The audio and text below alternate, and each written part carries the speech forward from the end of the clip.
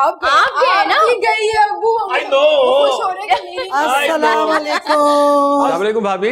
कैसी हैं आप? अल्लाह का शुक्र। खुश रहो जीते रहो। अस्सलाम वालेकुम ताई अम्मी।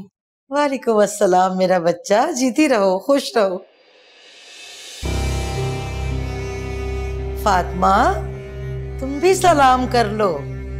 भाई जिठानी हूँ तुम्हारी बड़ी। जी अस्सलाम वालेकुम भाभी। बैठिए ना। अरे बैठिए ना भाभी। बैठिए ना। भाई माशाल्लाह क्या रौनक मेला लगा हुआ था। अपनी विरसा बेटी की हँसी की आवाज़ें ऊपर तक आ रही थी। अल्लाह हमारी बच्ची को ऐसी हंसता खेलता रखे इसके अच्छे नसीब हो।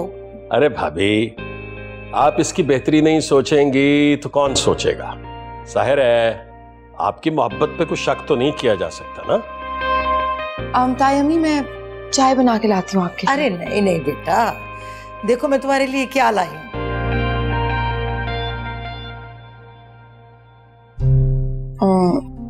ये क्या है ताई अम्मी? अरे बेटा परांदे हैं।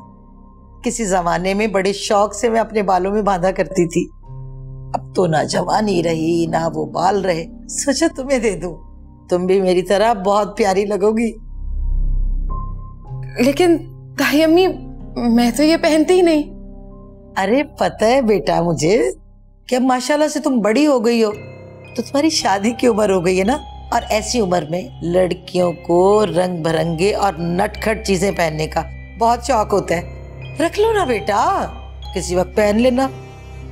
लेकिन ताई अम्मी मुझे तो ना ऐसी चीज़ें बिल्कुल भी पसंद नहीं। मेरे लिए यूजलेस है।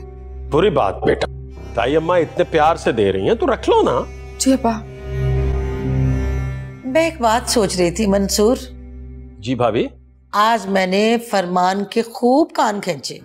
उसे मैंने कहा कि अपनी पढ़ाई मुकम्मल करो और जल्द अज जल्द नौकरी पे लगो भाई। ये बहुत अच्छी बात है बहुत ठीक किया आपने। कल से इंशाल्लाह वो कॉलेज भी जाएगा और कोचिंग में भी जाएगा। अल्लाह ने चाहा ना तो इस साल वो बीए का इम्तिहान पास कर लेगा। जी भाभी बिल्कुल। मैं तो खुद उसे हमेशा यही समझाता रहता हूँ। अल्लाह करे अब इस बार वो आपकी बात समझ गया हो। हाँ तो मैं ये कह रही थी कि कल से फरमान ना अपनी विरसा को भी यूनिवर्सिटी छोड़ आया करेगा। खाम खाम में बच्ची बेचारी वैनों में धक्के खाती है। क्यों विरसा? मैं ठीक कह रही हूँ ना बेटा?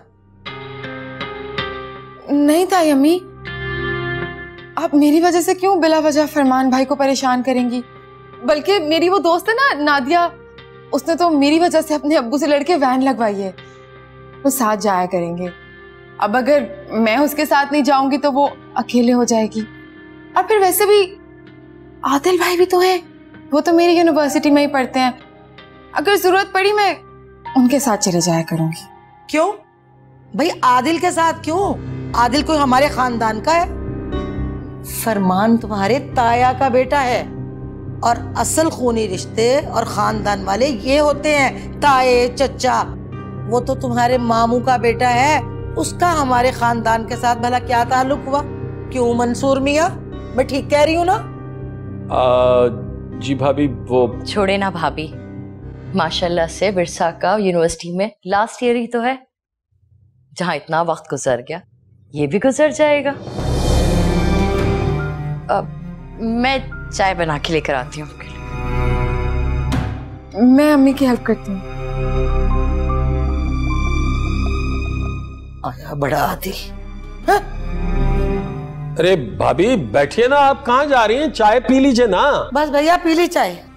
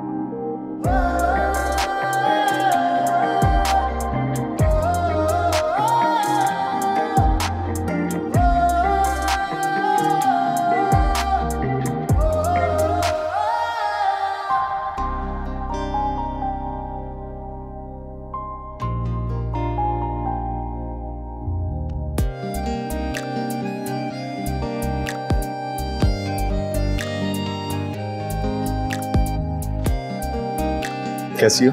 बिल्कुल ठीक अलहमदिल्ला गुड काफ़ी दिनों से यूनिवर्सिटी में नज़र नहीं आ रही तुम? नहीं नहीं मैं तो रोज आ रही थी शायद हमारी मुलाकात काफ़ी दिनों बाद हो रही है। शायद हो सकता घर पे सब ठीक है? हाँ सब ठीक। तुम बताओ पप्पू और पप्पा जान कैसे हैं? बिल्कुल ठीक अलहमदिल्ला क्लास का टाइम हो रहा है बाद में मिलते हैं। ख्याल रखना। आप भी।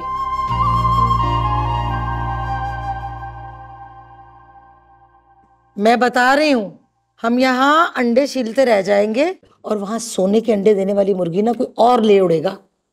शमीम तुम थकती नहीं हो? चौबीस घंटे एक ही बात करती रहती हो। हाँ नहीं थकती। बोला ना नहीं थकती मैं। तुम्हें तो अपने बुढ़ापे की कोई फ़िक्र ही नहीं है। कम से कम मेरे बच्चे के मुस्तकबिल का ही सोच लो। इसकी फ़िक्र? इसकी फ़िक्र करूँ? अरे इसकी तो नींद ही पूरी हो जाए यही काफ़ी है इसके लिए। देखो। अरे उठ चाल कसके मारे। बैठा बैठा भी सो रहा है। आँखें खोल अपनी या अभी भी सुनना बाकी है?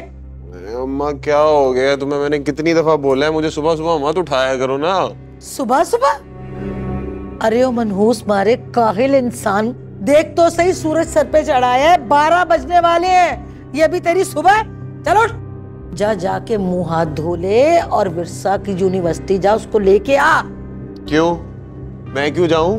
उसका वैन वाला क्या फौत हो गया फरमान होश के नाखून ले ले। अरे कल जो मैं बातें उसके मुँह से सुन के आ रही हूँ ना मुझे तो अजीब घबराहट हो रही है। अब ऐसा क्या बोल दिया उसने?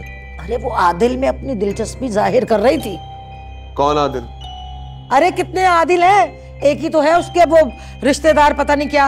वो उसके मामू का बेटा लंबे मुँह वाला।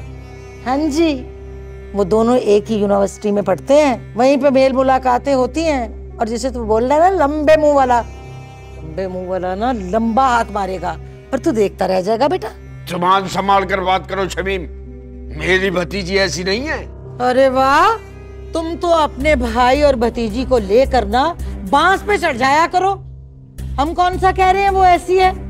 मगर वो जो लड़का है ना आदिल जो उसके आगे पीछे मंडलाता रहता है घूमता रहता है अगर वो इसी तरह उसके आगे पीछे घूमता रहा ना तो उसको उड़ा के ले जाएगा अपने चुंगल में फंसा लेगा। मेरे बच्चे का क्या होगा फरमान का? बस अम्मा ऐसा नहीं होगा और मैं ऐसा कभी होने भी नहीं दूँगा। अरे इसीलिए तो तुझे जगा रही हूँ कि जाग जा इससे पहले कि देर हो जाए जाग जा। चल उठ यहाँ से।